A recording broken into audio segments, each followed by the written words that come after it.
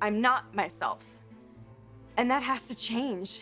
Hope's a basket case. I think maybe I should move out. Until their divorce is final and Liam and I are married. Thank you.